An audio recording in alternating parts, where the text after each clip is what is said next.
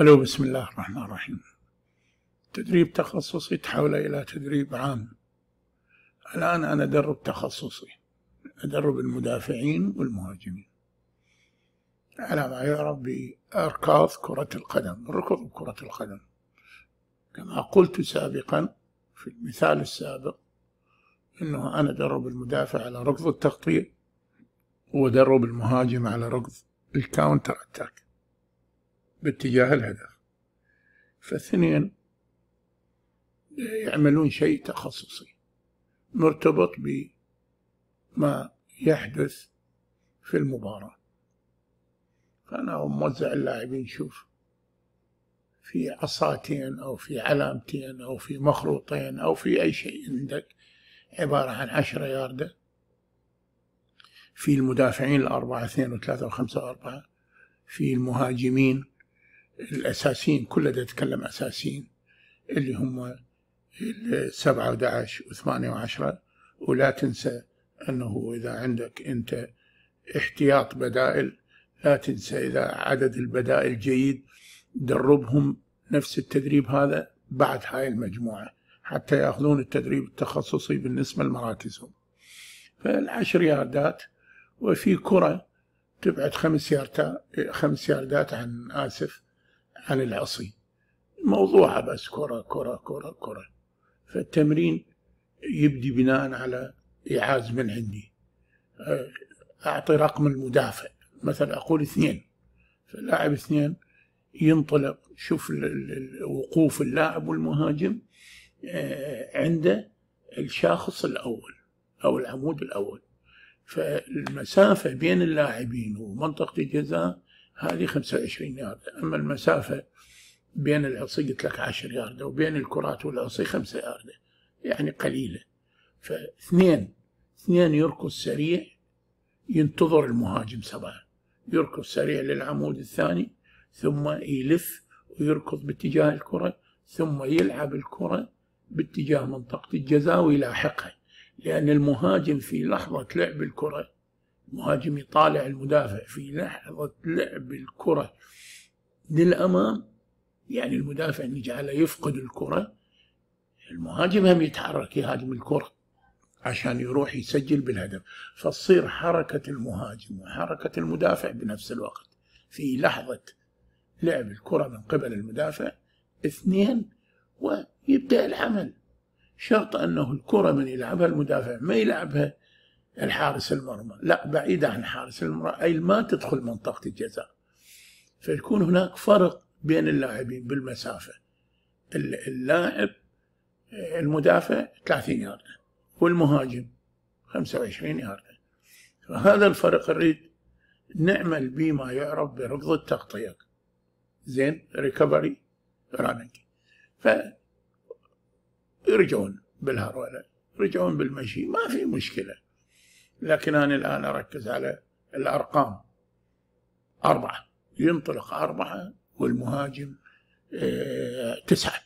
فأربعة ينطلق إلى العمود الثاني ثم يرجع باستدارة كاملة إلى الكرة ثم يلعب الكرة باتجاه منطقة الجزاء. فينطلق في هذه اللحظة هو والمهاجم خلف الكرة. المهاجم يحاول يسجل المدافع يحاول أن يمنع ذلك أو يعيد حيازة الكرة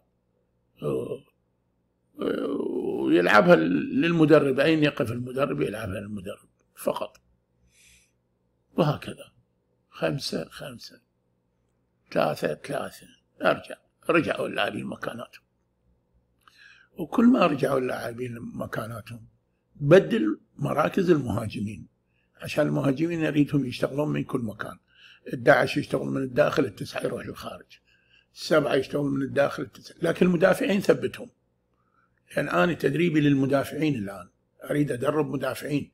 لكن بنفس التدريب راح يستفيد المهاجمين بتحسين ما يعرف بال counter attack running it's very good لكن أنا عندي ال recovery running مال المدافعين الأهم.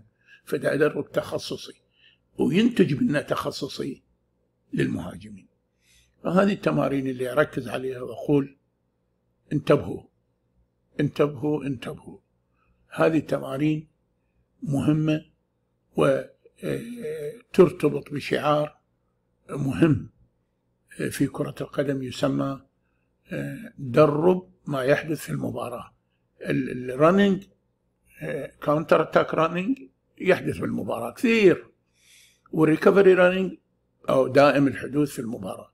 فتأخذ آه، مجمل الحركات اللي تحدث بالمباراة وتدربها تكون أنت مدرب جيد.